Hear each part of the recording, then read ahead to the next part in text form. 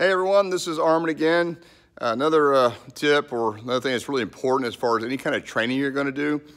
Uh, I see this a lot with my clients, um, especially if I'm not there supervising. And this issue typically has to deal with the fact that nobody likes to warm up. Okay, uh, warm ups are typically not that fun. I get that. But at the same time, the reason you have to do a warm up and the importance of it is you got to heat the body up so it can get ready for training. You got to get those tissues warmed up. You need to get the joints lubricated. That's really important, okay?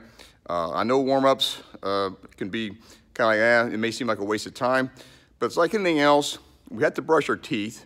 Don't necessarily enjoy it, but if we don't brush our teeth consistently, we know what's going to happen. It's the same thing in warm-up. If you're not consistent with a warm-up, uh, even a warm-up that you want to make it a, a fun warm-up, okay?